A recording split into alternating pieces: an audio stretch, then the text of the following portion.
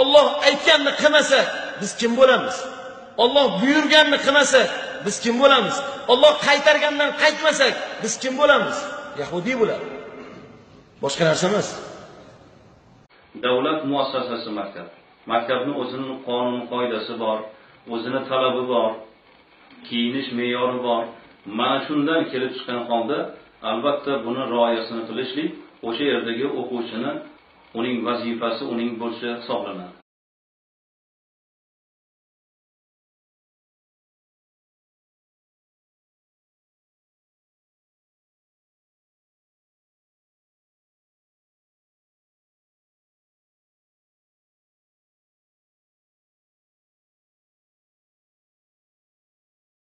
O'sha maktabning talablariga me'yorlariga amal qilishlari kerak bo'ladi. O'sha maktabning talablariga me'yorlariga amal qilishlari kerak bo'ladi Alloh aytganni qilmasa biz kim bo'lamiz? Alloh buyurganni qilmasa biz kim bo'lamiz? Alloh qaytargandan qaytmasak, biz kim bo'lamiz? Yahudiy bo'ladi. Boshqa narsa emas.